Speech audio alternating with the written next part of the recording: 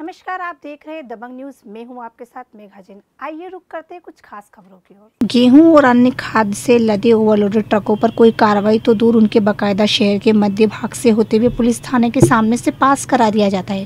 Railway truck point पर load करने का काम प्रभावशाली ठेकेदार सोना ट्रांसपोर्ट के कब्जे में है। किस तरह से रात के अंधेरे में बिना मास्क लगाए मजदूरों को धड़ल्ले से काम कराया जा रहा है?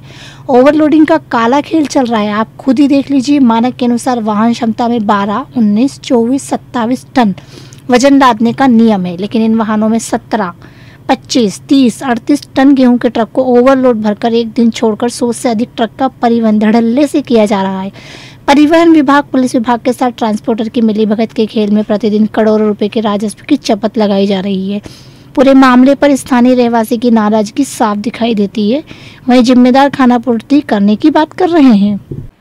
परिवहन का कुछ शिकायतें आई थी कि ये ओवरलोडिंग वाली प्रॉब्लम्स आ रही हैं और ये सड़क से मतलब कैपेसिटी से माल अधिक भर रहे हैं और उसको लोडिंग करके ले जा रहे हैं। इस संबंध में जो Madhya Pradesh state civil supplies corporation है झाहुआ का उनके जिला प्रबंधक को अव- अवगत करा दिया है और उन्होंने संबंधित मेसर सोना ट्रांसपोर्ट को पत्र के माध्यम से निर्देश जारी किए हैं कि यदि आप जितनी क्षमता है उतना ही लोडिंग करें, अन्यथा खिलाफ आपकी जो निविदा शर्त हैं, उनके खिलाफ आपको आवश्यक कार्रवाई की जाएगी। देखो दो तीन बार सर हादसा इतना खतरनाक हो चुका है रेक पॉइंट पे, और किसी भी टाइम बड़ा हादसा, पहले दो तीन हादसे वहाँ हो चुके हैं, और मैं भी, मेरा खुद भी इस चीज़ पे व्यक्तिगत हादसा इतना खतरनाक हुआ कि मेरे दोनों पाँव इस हादसे में घुमाने पड़े।